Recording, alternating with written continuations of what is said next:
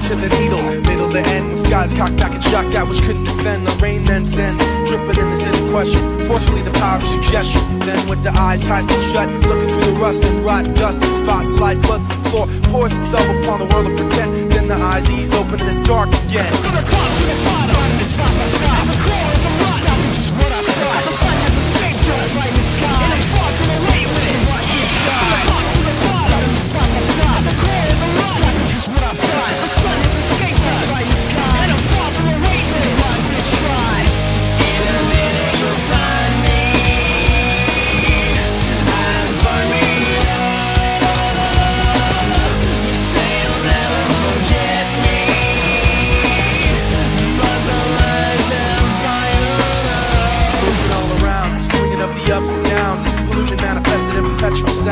the wheels go round, the sunset creeps past the street lamps, cars, chain links, and concrete. A window then grows and captures the eye and cries out yellow light as it passes it by. A small black figure sits in front of a box inside a box, a rock with the needles on top.